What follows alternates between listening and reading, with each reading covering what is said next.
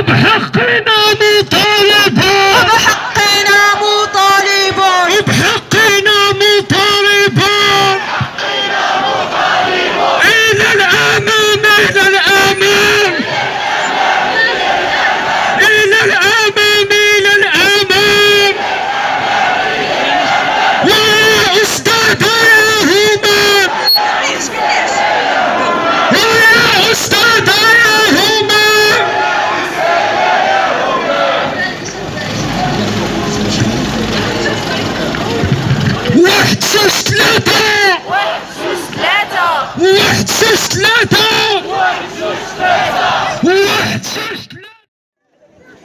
الاساتذه الذين فرض عليهم التعاقد اليوم من موقع الصويرة بطبيعة الحال من داخل اطارنا الصامد والعديد التنسيقيه الوطنيه الاساتذه الذين فرض عليهم التعاقد فرع الصويرة جسدنا اليوم مسيرة تاريخية مسيرة شاركت فيها كل فعاليات المجتمع المدني من هيئات سياسية من فعاليات من طبيعة الحال إطارات نقابية لماذا؟ لأن اليوم الكل واعي بأن مشكل التعليم اليوم ليس مشكل فقط الاساتذه الذين فرض عليهم التعاقد بل هو مشكل الشعب بأكمله.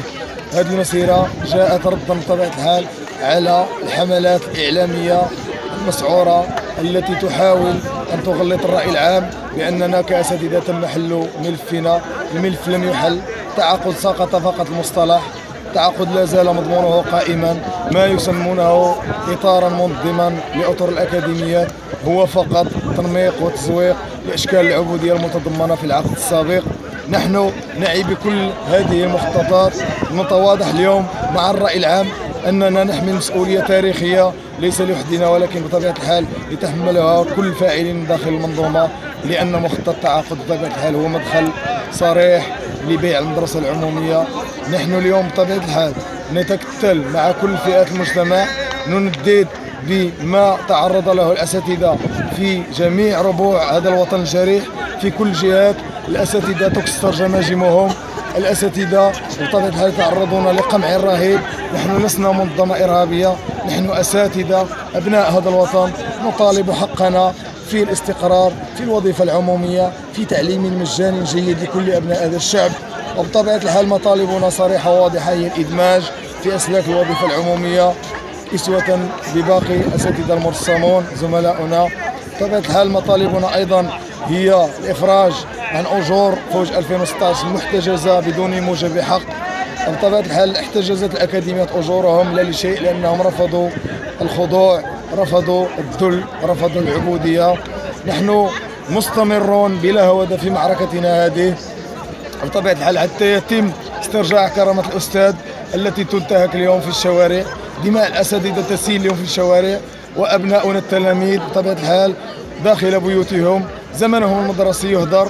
نحن لا نتحمل المسؤولية في هذا بل نحمل المسؤولية للوزارة الوصية التي تختار دائما الهروب إلى الأمام تختار تغليط الرأي العام.